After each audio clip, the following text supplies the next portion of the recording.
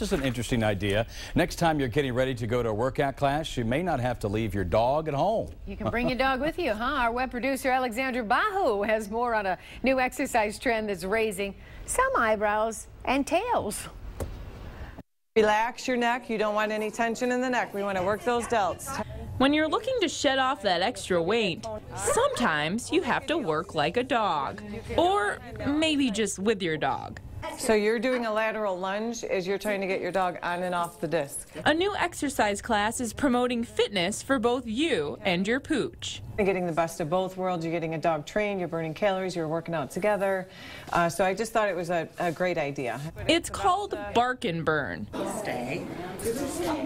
And at Wagon Tails in Shelby Township, dogs work their little muscles alongside their owners, using equipment specifically designed for them. As the, the class moves on and as the weeks build and they start to, to build and um, up their um, endurance the same way that a human would, um, you see them jumping up onto the equipment and, and, and holding their, their balance and you can see the look on their face like, just leave me, you know, like, look at me, I'm doing it. Organizers of the Bark and Burn say that one of the benefits of working out with your dog is that they kind of keep you motivated.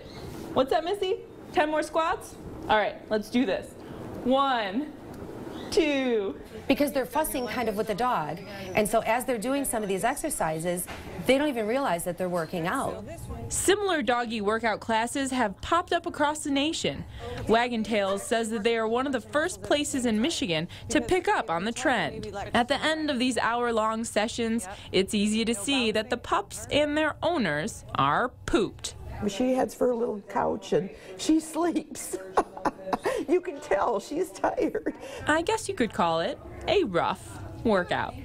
Reporting from Shelby Township, I'm Alexandra Bahu, 7 Action News. Would you work out with your dog? Well, my dog will only move for a biscuit, so no. Too many dog, uh, what, doggy bags for him, I guess? He's a little, yeah, no. So he just no, kind of lay so down much. on the job and eat He does. He's a dog. What's he going to do? He's There just hanging out. Now, if Mine you would, wouldn't either. If you would like to learn more about Bark and Burn, check the story out on our webpage at uh, wxyz.com. We have Yeah. all that there. Cute idea, Why not?